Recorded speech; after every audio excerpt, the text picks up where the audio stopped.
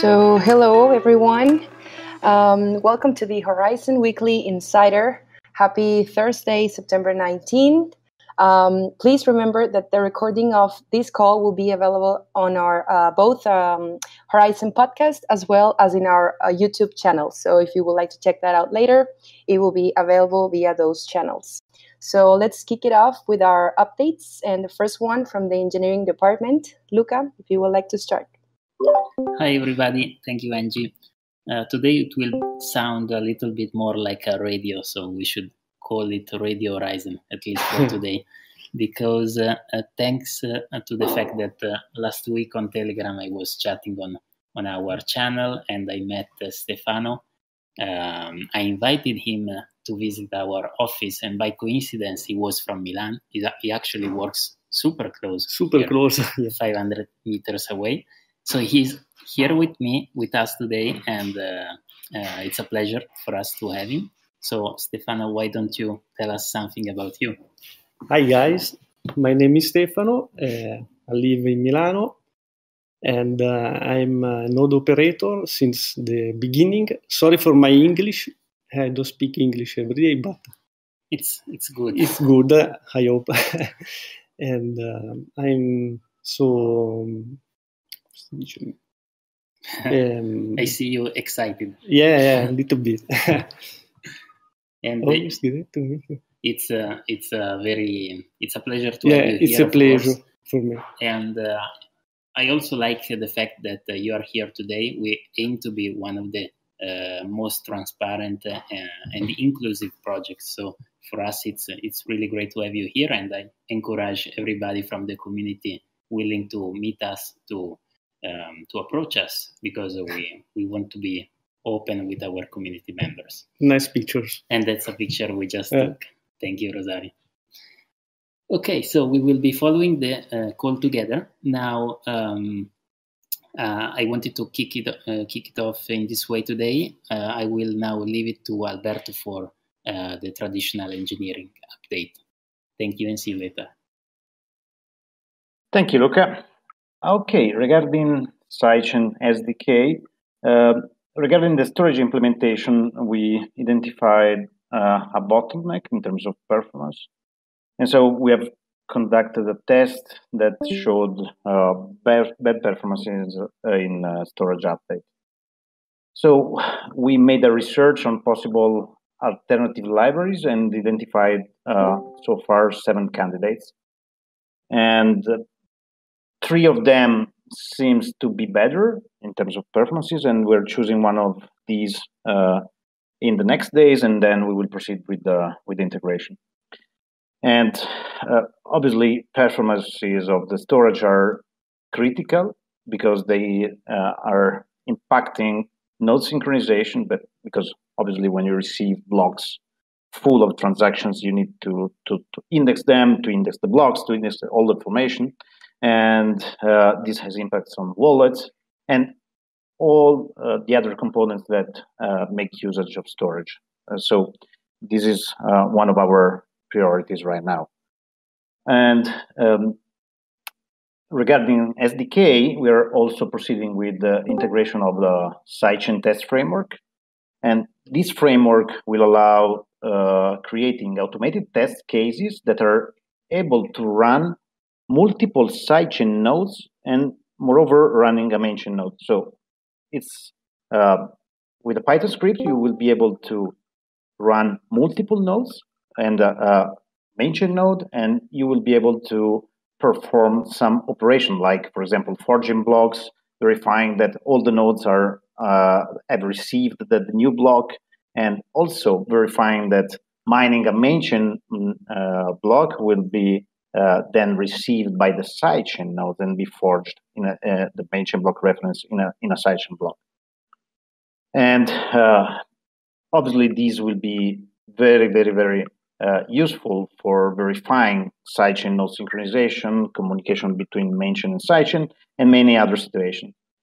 And the design of this test framework is a uh, let me say had a similar approach uh, of the main chain one. Okay, regarding the main chain changes for sidechain support, Uh, currently, the code review is in, is in progress. And after having finished the review, we will schedule uh, possible uh, refinement. Okay, uh, about the overall model. Uh, at the beginning of this week, I had a meeting with uh, Professor Roman Oliynykov and Dmytro Kaidalov from IOHK Veritas team. And in the meeting, we discussed the detail of a new model extension, the sidechain, that we have been working uh, on in stealth mode for the last six, last six months. And more details on this uh, will come soon. And it's everything from my side. Thank you, Luca. Thank you, Luca and Alberto. So next one will be Chronic on the infrastructure side.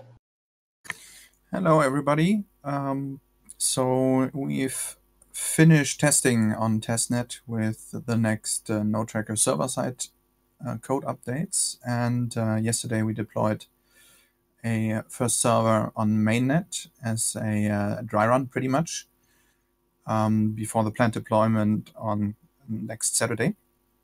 So far, the the new code is working as expected, uh, except for one little bug uh, which we identified, which will be uh, fixed later today. And a um, so currently the new code is running on uh, SuperNode EU2, and uh, we will deploy a, a, secure node server as well today um, as a more general load test because we see a lot more secure nodes on a single server than for super nodes at the moment. Uh, and uh, we don't expect any any issues. And um, the deployment will start Saturday evening European time, with a little buffer into uh, Sunday if something does go wrong, but uh, no hiccups are expected. And um, generally, uh, we've communicated all of the the updates, um, what's included already. Uh, we will post another blog post uh, later today about the maintenance windows so that everybody can prepare. And um, we're, we're, quite happy with the release so far. Uh, it, it will bring a lot of uh, improvements, especially for node hosters as well. So looking forward to to getting it deployed. It it was um, pretty much three to four months of work in the background, um, which will be released uh, with this new tracker. And that's it from infrastructure. Thank you, Kranik. Uh, next one would be uh, Gustavo on the UX side. Actually, Angie, if I can uh, uh, interject this, um, we also have uh, Andriy Sobol in the call today. sure. So it would be a great occasion for for him to um, speak, uh, and in particular, since he has been the resource, uh, main resource dedicated to the sapling uh, denial of service issue investigation, he will be speaking about that. Andrew, feel free to go on. Hello, hello, guys. Um, yeah. So yeah, in um, in this week we uh, we analyze uh, what what what what what will happen if we will deploy uh, without any changes uh, and we can have two possible problems first attacker can generate block with big set of snarks and try to DDoS our network in this way. And another another problem attacking attacker can, can generate transaction and try to propagate it to the network uh, and uh, spam uh, neighborhood. So in the first scenario our network will manage it because uh, block verification time is not a problem. Uh, we did calculation. And in worst case scenario block verification will be less than uh, 40 seconds. In uh, it was calculated in hardware which we require for our supernode. So our block frequency is two minutes and half. So that means that uh, our network will manage this stuff. Uh, but uh, we still have the second uh, scenario. The second scenario it can be a problem because attacker can send big set of shielded transaction to your node, and your node will go offline. And how we can solve this problem? We should uh, specify specialized verification queue or transaction and we need to modify logic of uh, uh, transaction verification. So if node receive transaction, node writes this transaction uh, uh to verification queue without verification, and node will do it uh, in uh, asynchronously. So and I think it it will it it solves the problem, and uh, but uh, we can add some additional stuff. So we can have uh, we can port memory pool limitation from Bitcoin Core and uh, set reasonable default default memory pool size. So it will manage the problem that if someone try to spam transaction to you and uh, you have no no memory to to keep it in memory so it will it will manage this uh, this stuff. And we can port BIP 152 uh, it's a more efficient way to propagate block uh, in networks so it will decrease uh, computational uh, computational overhead if we try to verify snarks. So that's it from my side Thank you, Andre. Okay, so now we continue with Gustavo on the UX side. Hi, everyone. So we'll start with the help desk update and we'll have Mac to give the help desk update. Hey, Mac. Hi, guys. Um, so today's help desk metrics from around 20 minutes ago, we have 22 items which are in an open state. We have four items waiting for support, 12 items waiting for customer, um, and we have six items which we're terming as aged, which is essentially customer unresponsive. Um, and we have 11 items in the pending queue, which means either awaiting a software fix, um, is possibly a bug bounty, or is left there for informational purposes for the team. Um, another update that we have some of you may have noticed that we've gradually started reorganizing the Discord channels. Um, we started that yesterday, um, and we're going to get to continue that this afternoon. Um, so hopefully, we're going to remove anything that is kind of unused now, um, tidy up the categories, make the whole thing a bit more organized um, and easier to find stuff for you guys. Um, that's it from me. Okay, thanks, Mac. So on the web development side, we finished the development of the new gamification features for the faucet. So we are currently testing that, and uh, it's scheduled to be released on Tuesday. And we are also giving support to the HD project. And uh, on Sphere by Horizen desktop version, we had a minor release that included some upgraded dependencies, and it was just it. And we are still running several tests and working on the performance and bug fixes. And it's everything for our side for now. Thank you, uh, Gustavo. Okay, so next one is uh, Vano on the BD side. Hello, everyone from Ukraine. So, my main focus uh, is blockchain UA conference tomorrow in Kiev, Ukraine, and our upcoming meetup here uh, the day after tomorrow. And I'll be meeting uh, with a lot of our partners and um, community members, both at the conference and at the meetup. That's a conference I'm speaking about our side chains. And at the meetup, I will be introducing uh, more generally our brand, our features uh, our technology to the meetup attendees and also talk uh, more briefly about our side chains and um, talk to very uh, interested people there. So I have also brought some cool swag, swag here for our community members. So looking forward to it. That's all from me. Back to you, Angie. Thank you, Vano. Okay, so next one would be uh, Jonas on the Horizen Developer Environment project.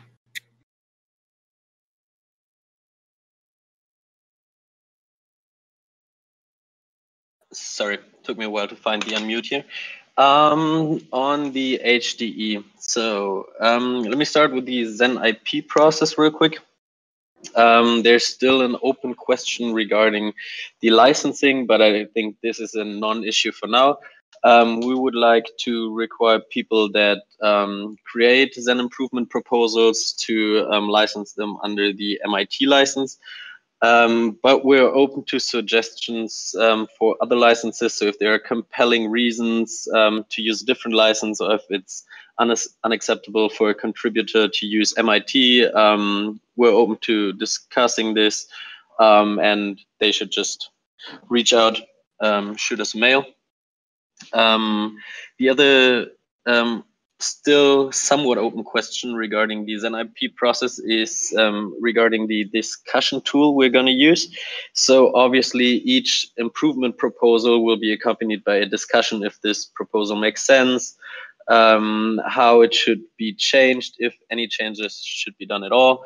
Um, and we would like to facilitate an efficient and easy to navigate discussion. Um, forums can be pretty noisy um, if not moderated well. Um, and I really like the Kialo platform. Um, I haven't seen much adoption for it um, with other projects or basically anywhere, but I really like the structure. Um, if any of you guys have um, used it, so I've, I've played around with it, uh, took part in some public discussions and um, really like the process. If anybody, um, any one of you have some experience with that, please reach out and let me know what you think. Um, other than that, those are the the two large open questions I think for now. And I'm still confident that um, yeah, by the end of the month we'll have a public draft for the ZenIP process for the HDE.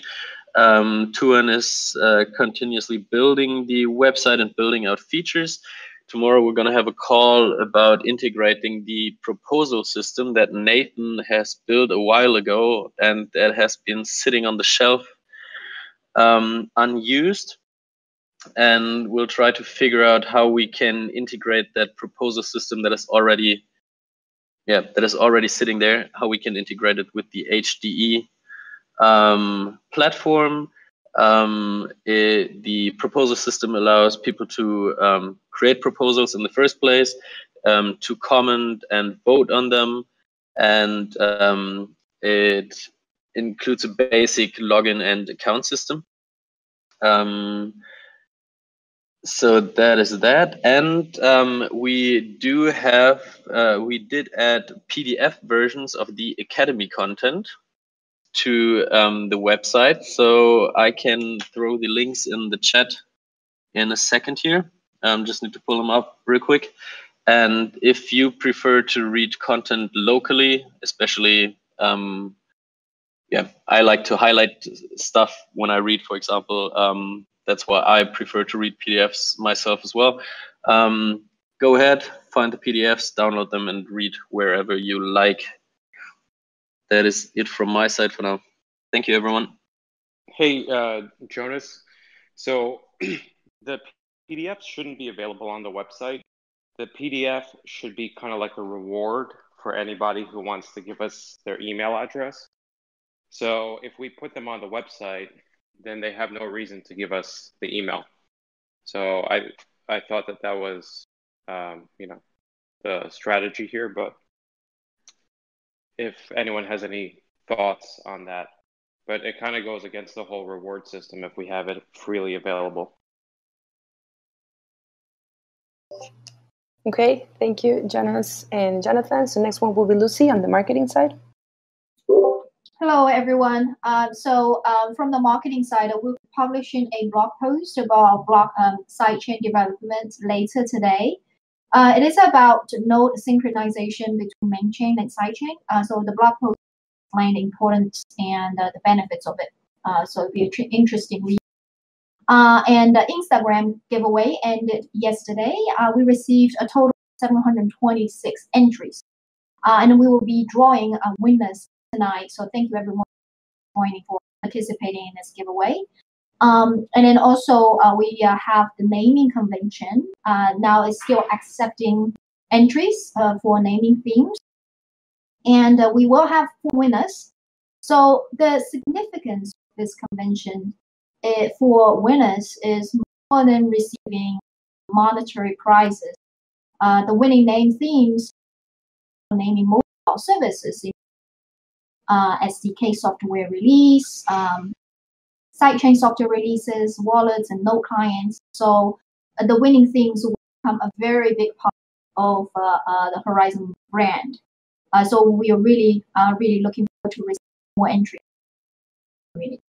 Uh, and then also thank you, Mac, for working on uh, the organization of the uh, of channel, and and um, Erica for planning all of it.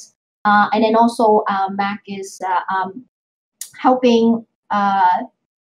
Mac is helping us, you know, in the the naming convention, receiving entries as well on the back on the back end.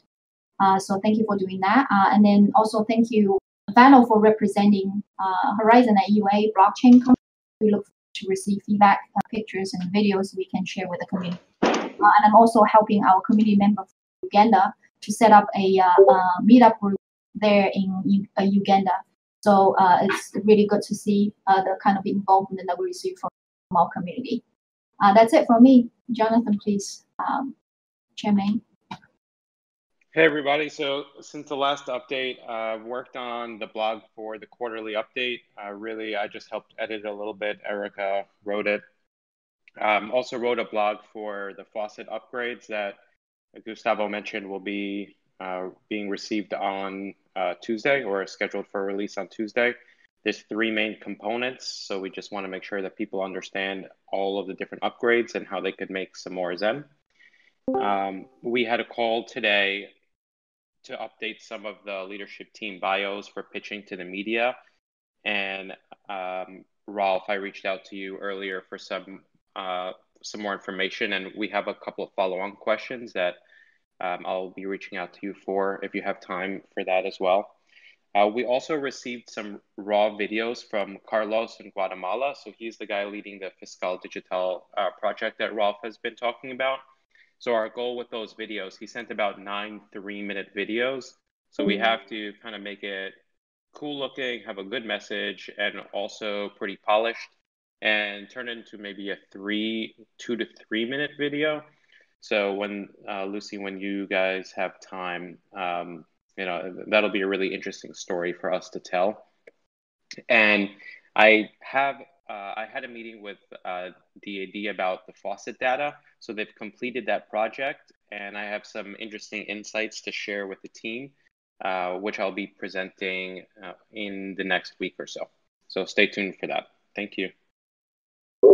I just wanted to um, add something that I forgot to mention. Um, uh, so Jonathan, the uh, the video I'll be working on. I'll be working on the video as well. our design team, a design team is pretty occupied with uh, some of other uh, projects, including Marco. Uh, so, but I, I, will be working on a video, uh, and and uh, Marco will step in also uh, at a later time. But we will try to get that uh, get that done as soon as possible. Uh, and then also we received some uh, feedback from our community and also team about our blog post. and then also we are making improvement on that, and the Mac is also helping us working on that to make it more mobile friendly uh, so uh, and then we added some uh, kind of custom based features on our blog post as well that improves you know reader experience and also um, provide extra channel for people to ask questions. Uh, so Mac is also working on uh, implementing as well. That's it from me. Okay, awesome. Thanks, Lucy. And I wanted to remind everyone that we do have the Menti link up and running. So if you have any questions, please uh, log into menti.com and use code 963725. But it, it should be on the general channel as well. Thanks. Thank you, Jonathan and Lucy. So next one would be uh, Rosario on the product and engineering. Good morning, good afternoon, or good evening here from um, the Milan office. I've been traveling for the last 24 hours, so I don't have uh, much updates. But I'm happy to be here in, in Milan and work with our team here. Uh, we're getting ready, or they're getting ready to wrap up uh, SDK alpha testing. So it's um, we're going to be uh, hopefully very soon uh, thinking about and planning uh, sidechain uh, SDK beta, which I know Alberto is uh, not thinking about right now because we uh, we're just wrapping up the side SDK alpha. Also, super exciting, guys! I got to meet Stefano. thank you for coming into the office, and it's always fantastic to meet community community members, and especially just being down down the road. Uh, and Stefano's been a, a, community member, a node operator since 2017. So that's uh, amazing for the team to get to uh, meet you in person. And I'd like to thank Mac for consolidating all the GitHub issues. Uh, and part of uh, something that we I've mentioned before uh, is that we are looking at cleaning up our GitHub and just setting up a, a process that will uh, hopefully enable the HDE uh, uh, program that we have. And uh, Mac, uh, that list that you provided will help us hopefully burn down issues for the prioritized repos. So I'll share it with Maurizio. you're welcome, Maurizio. and uh, let's see. Oh, the Academy content is a great resource, and I, I do want to mention that. I I actually send it to interested candidates, uh, interested individuals that are uh, wanting to join the Horizen team.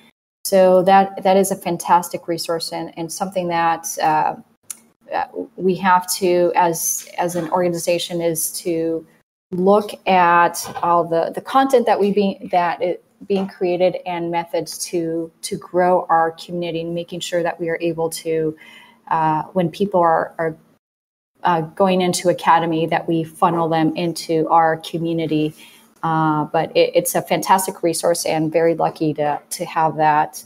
Uh, and um, speaking of candidates, I've been talking to a few candidates, and as uh, everyone knows, uh, at least internally, we are still growing our team. Uh, right now, we're focusing on the technical side. So I know there's been a focus here in Milan and also in different parts of, of the world. So that is it for now. Thank you. Thank you, Rosario. And now, Rob, for the leadership closing thoughts. Thanks, Angie. Um, and likewise, I'm very happy to have met Stefano in particular because I believe he has a, a bottle of uh, something nice, some some prosecco for us here in the office yeah, to celebrate yeah. afterwards. of course, of course, fridge. perfect, perfect. Um, okay, so see the few items I wanted to recap here today. Uh, we are making progress on just uh, you know opening our um, you know developer environment for more community contribution. Things that you've heard Jonas talk about and Rosario talk about are uh, really important for us go- going in that direction. Um, so the Zen the Zen IP or Zen improvement uh, proposal system, we're looking to wrap up the draft for that and publish it uh, hopefully by the end of the month. Um, I've also seen some amazing mock-ups, quite frankly, on the HDE web portal. Um, I, I, think it looks uh, fantastic, and honestly, I'm, I'm, a little bit shocked how quickly it's coming together, uh, and especially being able to le- leverage the backend proposal submission system that Nathan's already already had uh, designed and built and basically on the shelf. Um, great opportunity there. Um, in the meantime, because we have actually had some some developers reach out from the community asking to contribute um, you know, the, the, kind of standard answer there is for sure check out the the repositories that we have open right now.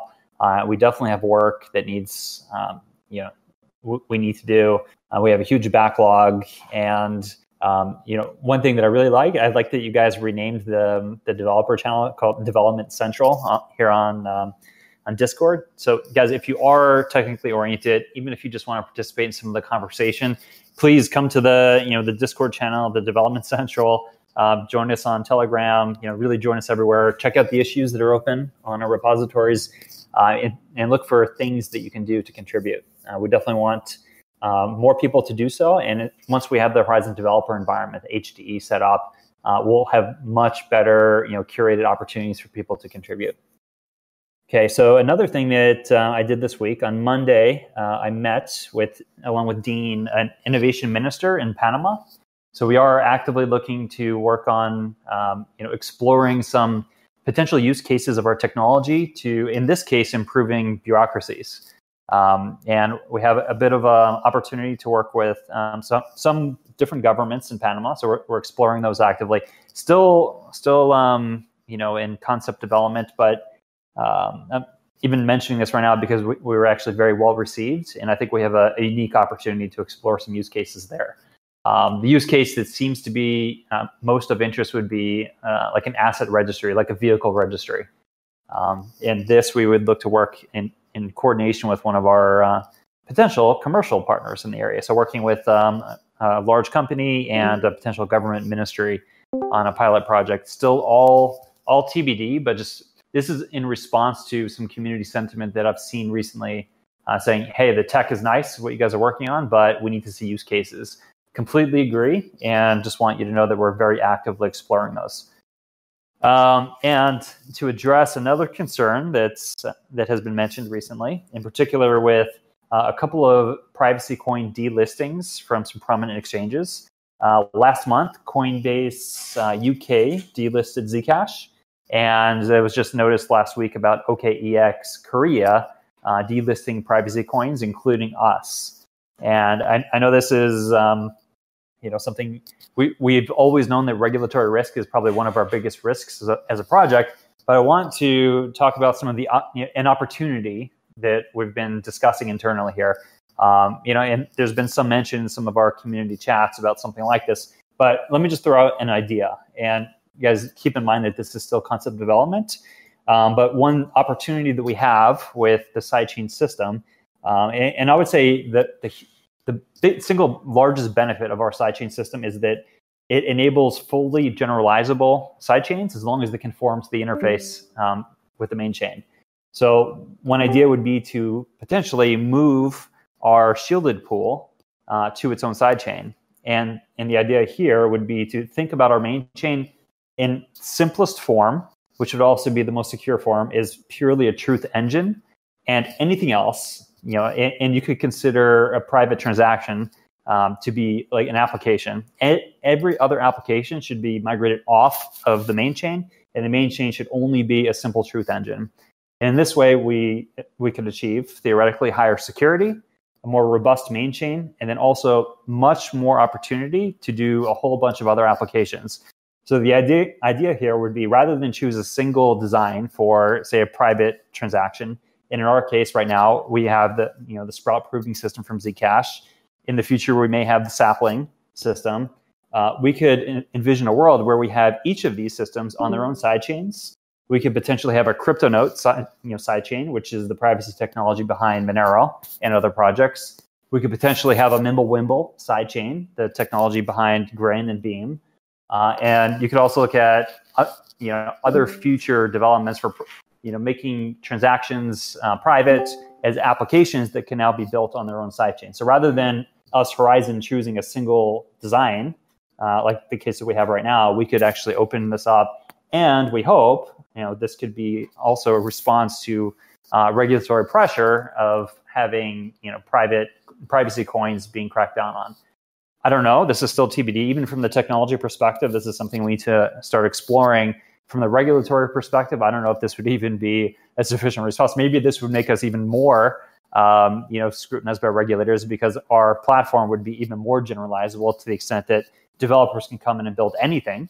Um, but still, it, it is something that I think we should consider. And you know, there are some other benefits to this, and this is something that I've chatted with Piece2 about. But auditability is is uh, potentially a huge benefit of this because if we knew that the main chain were simply a truth engine. All of the coins that exist on the main chain are now accountable for completely. And anything that requires additional privacy would happen on sidechain. This, in a way, also provides a natural firewall between any of these shielded pools or shielded, you know, obfuscating technologies and our main chain. And if there were ever a bug in any of these types of technologies, they would be um, exclusively bugs in the sidechains themselves and the implementations, and not the entire money supply. So, you know, it, is certainly an interesting uh, take on, you know, taking what is right now perceived as a, as a huge risk and turning this upside down into like a major opportunity for us as a project. So, just an idea I wanted to close out with, guys. Any questions that we have um, so far, Lucy or Jonathan? Uh, yeah, so today will be short and sweet, and then you. I think you already answered one, uh, the top question, which is what Horizen team take on the recent events on privacy coins. Unless you have something to add. No, exactly. So I, it, it just goes to show that this is a, a huge concern on people's minds. Yeah. So, uh, and then the other one is a comment that um, uh, someone said the Horizen Traders channel on Telegram needs a cleanup. Too many spam. Uh, spam. I think I can answer to that, and I do. Uh, I agree. We need to uh, um, stop the spam. Uh, and I'm a manager on one of the Telegram channels that we have, and I understand that we receive so like a lot of spam on a daily basis. Um, so I'll make sure that we uh, uh, stay on top of it. And then, uh, and then also any uh, co- uh, community members that you know willing to uh, kind of guard our channels and be kind of volunteer to manage, monitor things like that. you know, we we always welcome that kind of that kind of help. But we'll make sure that we stay on top of it to you know create a clean communicate communicating platform for everyone and that's it really from from us uh, uh, uh from questions we have. Cool. Thank you. Thank you, everyone. All right, guys. Well, thank you for joining the call today. Uh, this was uh, another great set of updates for the week, and we'll see you again next week. Take care. Thank you, guys. Thanks, everyone. Thank you, guys. Bye bye. Thanks. Bye. Bye, guys.